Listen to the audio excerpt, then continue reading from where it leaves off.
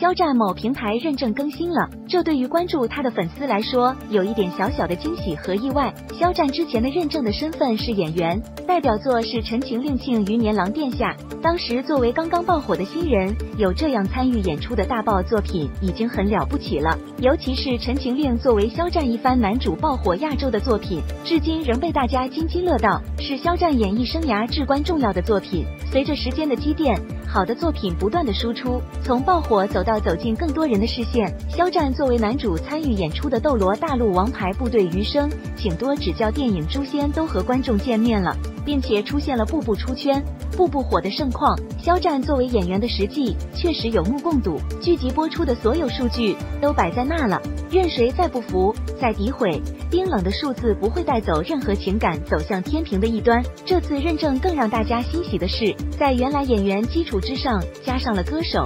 舞台上的歌手肖战确实魅力四射，实力不俗。余年的跨年舞台表演的。被国外专业人士称为完美的艺术家的表演，肖战从大学时代的文艺分子一路唱到了央视舞台，其成长突飞猛进。肖战微博认证更新，也是肖战开启演员歌手身份的新篇章。爱他的粉丝说，字数有限，放不下啦。期待石颖和肖春生，期待演员肖战更多作品，好作品轮着来。